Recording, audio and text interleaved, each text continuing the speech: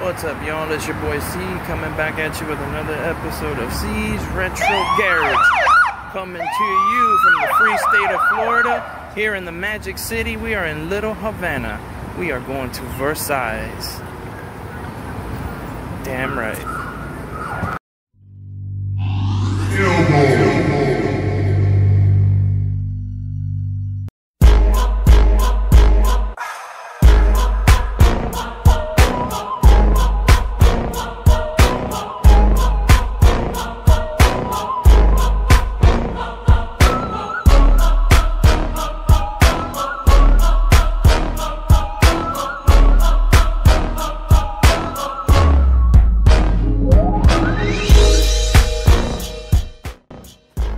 January 1st, 1959. The rebels stroll through Main Street of La Habana, the capital city of the island of Cuba and the province of Habana. This bad man, with the assistance of these other bad men, come into town looking to overthrow this other supposed bad man who was working with this other group of bad men to make things on the island better.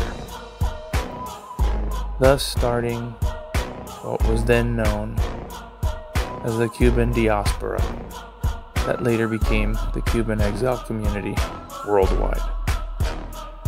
Fast forward to 1971, where one of these refugees establishes what would become the most iconic restaurant in the city of Miami, which is Versailles. Just about every single Cuban exile that walked the streets of Miami has walked through this establishment, as well as worldwide. Without a shadow of a doubt, this is ground zero for politics within the state of Florida, as well as within the city of Miami itself. So let's go ahead and enjoy the sights and the sounds of this wonderful establishment as it is brought to you by your boy C.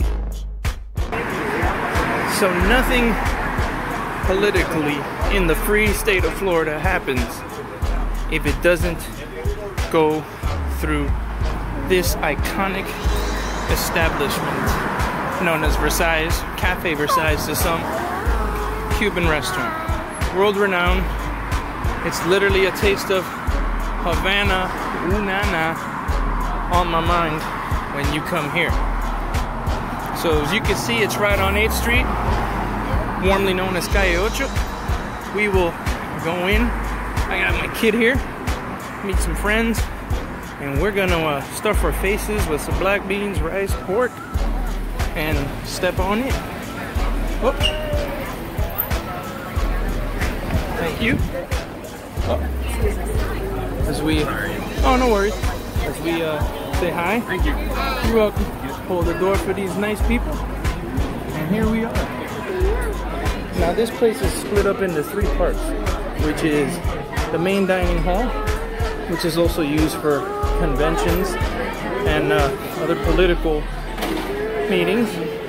And we also have the bakery, which is awesome, as well as the cafe part. So we're meeting some friends here, and we have a visit from the Mongols from California. How freaking awesome is that? These guys, you'll see them show up behind me. So this is pretty cool. Right over there, kid.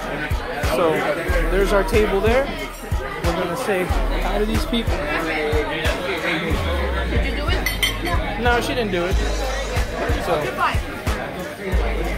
so we're gonna go ahead and have a seat. There's a false alarm. False alarm. You. So when you're old, you want your water bottle?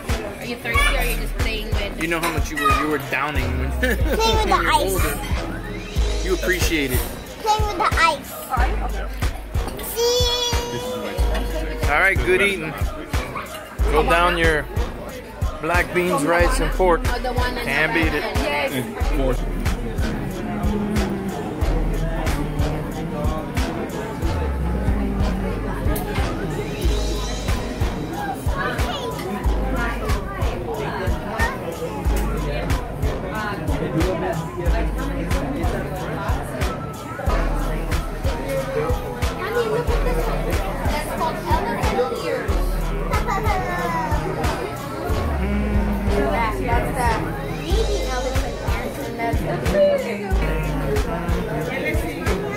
Nosotros, por favor, o quizás ellos necesitan ayuda.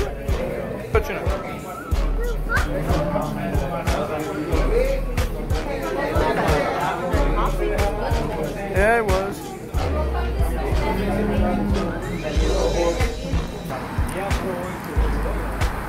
Take a look.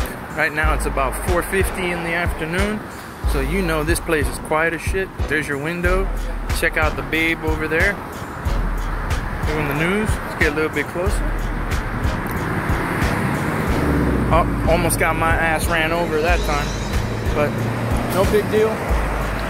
Uh, you can see it's quite a bit of noise. Here's the place, like I said, that's the bakery side. Here's the little cafe side. Get a little bit closer. You can see, look at all these out-of-state tags. Hmm? That happens because this is the free state of Florida. And uh, that gives you an idea of what's going on in the rest of the country. See, we're not the only people filming around here. Where the fuck else you get a pistachio fucking cannoli?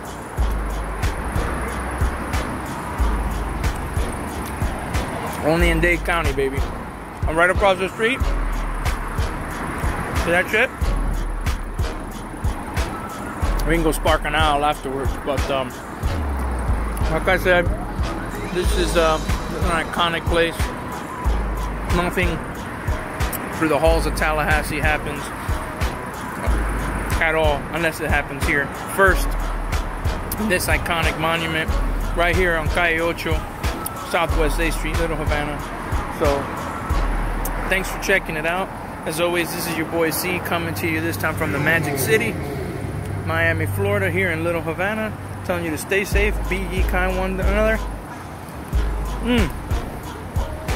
Peace out.